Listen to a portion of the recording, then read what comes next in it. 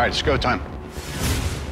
Good evening. I'm pleased to announce the imminent arrival of your bouncing, badass baby brother. The great thing about Iron Man 3 is Tony's personal journey and the journey of his technology are, I think, second to none. He's been doing nothing but building suits and suits and suits and suits. It's an obsession. At the beginning of this movie, there are 42 suits. I got a ton of new tech. I got a prehensile suit. I got, I got, I got bomb disposal. Catches explosions midair. The end result, which we see early on in the movie, the most outlandish and far out tech version of Tony's experiments, Mark 42.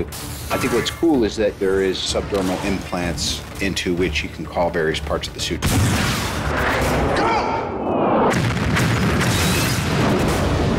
It's still rock solid, still protects him from bullets, but it's also flexible enough that you can go and just throw the suit off him at someone else. I got you.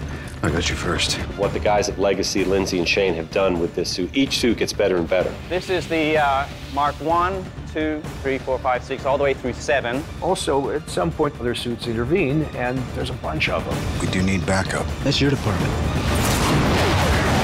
We wanted this film to have the best act three of them all, and we've achieved that.